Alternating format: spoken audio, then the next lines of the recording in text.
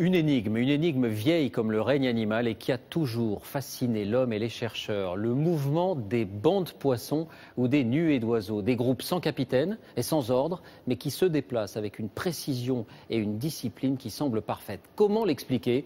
Une équipe française propose une nouvelle expérience spectaculaire et qui permet d'en savoir un peu plus. Christophe de Valambra avec nos bureaux à Toulouse et à Lyon.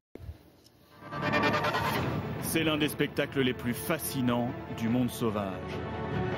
Des milliers d'étourneaux forment un seul nuage, homogène, vivant. Sous l'eau, le spectacle est tout aussi grandiose. Un banc de sardines, nageoire contre nageoire, comme un seul et unique animal.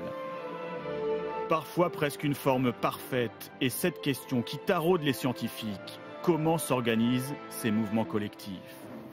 À Lyon, une équipe a mené une expérience inédite. À l'échelle microscopique, des billes de plastique se déplacent toutes seules dans un bain d'huile grâce à un champ électrique.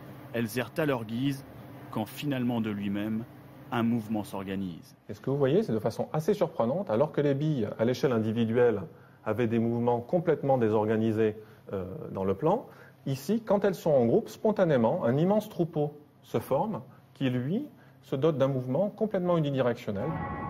Ce serait grâce au déplacement de l'huile environnante que les billes auraient trouvé leur chemin.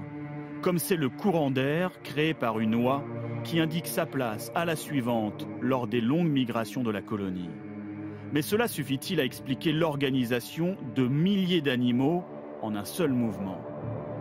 Les déplacements des bancs de poissons ont été numérisés et analysés sous toutes les coutures par les scientifiques. Leur forme, leur vitesse, leurs changements sont soumis à quelques règles précises que même les tout jeunes alvins adoptent déjà. Paradoxalement, ce sont des comportements collectifs qui sont produits avec des règles relativement simples.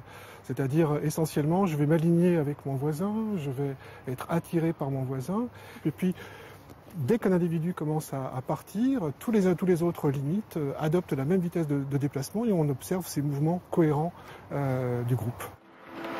La technique est surtout destinée à échapper aux prédateurs.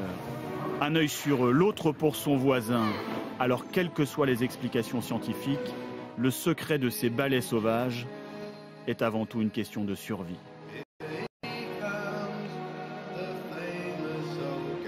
Voilà.